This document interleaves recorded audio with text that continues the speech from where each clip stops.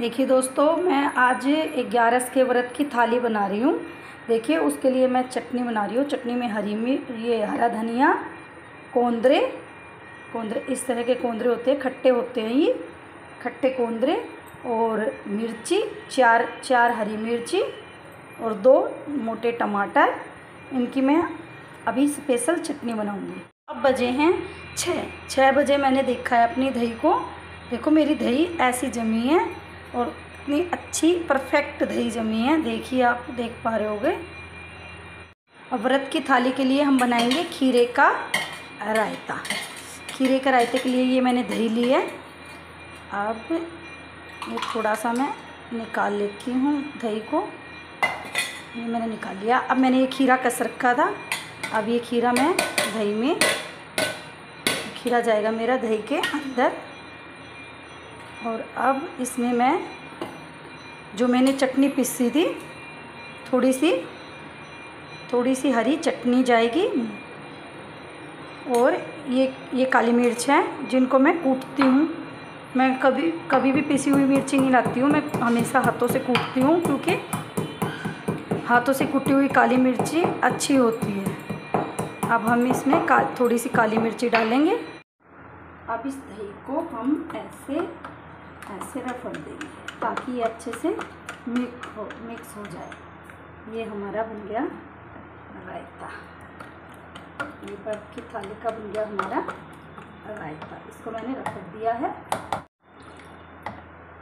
देखिए दोस्तों, कैसे बनाते हैं पोपट सब्ज़ी वाले। ये गए थे लेने के लिए।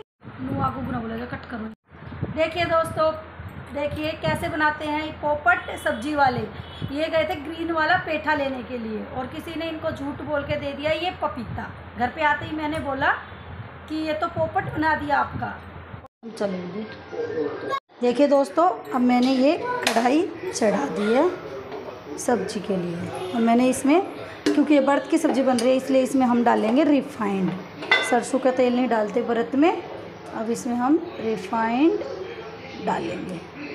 मैंने थोड़ा सा रिफाइंड डाला।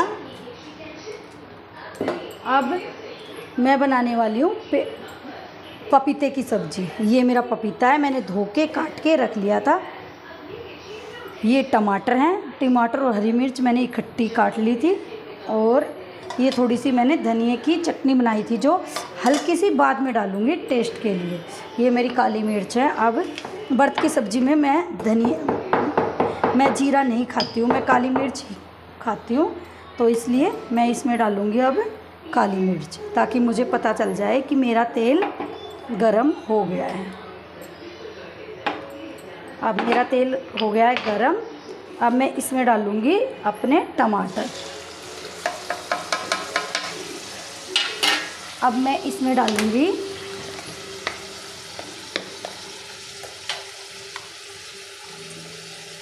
एक चम्मच नमक। नमक आप स्वाद अनुसार डालें, जैसा आप खाते हो।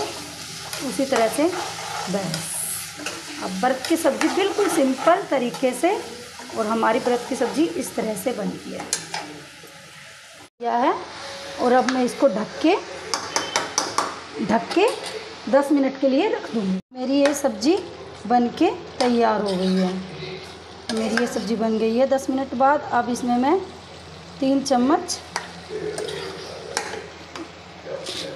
तीन चम्मच चीनी डालूँगी। तीन चम्मच चीनी डालेंगे इसमें और फिर हमारी सब्ज़ी तैयार हो जाएगी और गैस को तेज़ रखना है।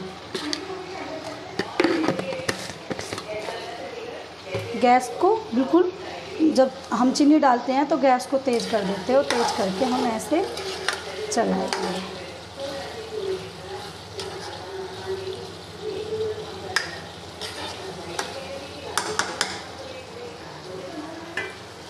देखो दोस्तों, ये मेरा कुट्टू काटा है। अब इतना मेरे टमाटर हो रहे हैं, इतने में क्या करूँगी? ये मेरा कुट्टू काटा है। रोटी की तैयारी कर लूँगी। ये मैंने आधी किलो पाइया कुट्टू का, आधा मैंने बचा लिया है पहिया कुट्टू का आटा। और पहिया मेरा सिंघाड़े का आटा है। और मैंने आज इस तरह से पाइया सिंघाड़े का आटा। इन दोनों को मैं करूँगी मिक्स। अब मैं इन दोनों को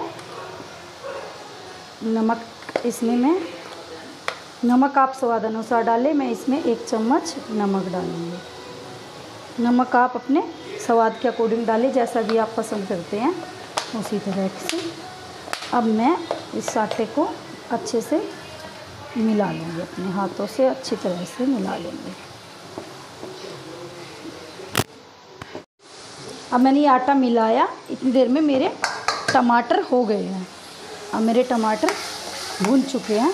मेरे टमाटरों ने पानी छोड़ दिया। अब मैं इसमें डालूँगी ये अपना पपीता।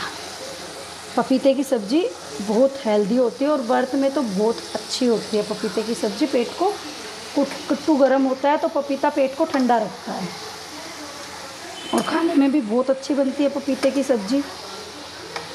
लगा लिया है। अब मैं इसकी दोस्तों, मैंने गैस को कर दिया ऑन, अब मैंने अपने तवे को रख दिया है गैस पे, और मैंने कुट्टू का और सिंघाड़े का आटा लगा लिया है। अब मैं बनाऊँगी छोटी छोटी पतली पतली रोटियाँ। इसको हम नरम हाथों से, बिल्कुल हल्के हल्के हाथों से बेलेंगे। ज़्यादा दबाव नहीं देंगे और रोटी को बार बार घुमाते रहेंगे, क्योंकि हमारी ये रोटी बहुत ही जल्दी टूटती है। ये हमारी रोटी तवे पे। आप बिना घी तेल के भी बना सकते हो। देखो हमारी कैसी फुली फुली सी। अब ये हमारा फुला फुला पराठा तैयार हुआ है। देखिए दोस्तों नरम नरम हाथों से इसको हम फुला देंगे। दोस्तों, ये हमारी व्रत की हो गई थाली तैयार। देखिए, ये हमारी सब्ज़ी है। ये हमारा ये हमारा रायता है और ये हमारी चटनी है और मूली की सलाद और दो पराठे, ये मैंने पर अगर आपको व्रत की थाली पसंद आई हो तो मेरे चैनल को लाइक करें, सब्सक्राइब करें और शेयर करें, कमेंट करें मेरे चैनल को। प्लीज़ प्लीज़ प्लीज़ मेरे चैनल को ज़रूर से ज़रूर सब्सक्राइब करें।